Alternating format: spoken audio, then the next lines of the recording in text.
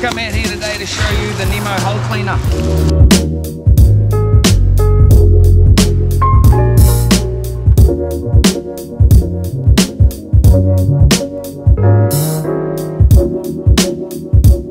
So as you can see the hull cleaner here, it's similar to our grinder and we have two different brushes. We've got a hard bristle brush and a soft bristle brush. In order to put the brush in, it's the same as any hex head fitting. It just slips on like that. And then we've got our 10 amp 18 volt lithium ion batteries. So they just connect on like so. And two clips on either side. You should get yourself around two hours runtime under load. Okay?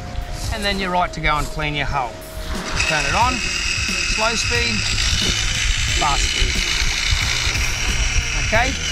Now in the pack with your hull cleaner, you've got two handles just to give you self something to hold onto while you're cleaning your hull. Okay, so we're going to attach those two there.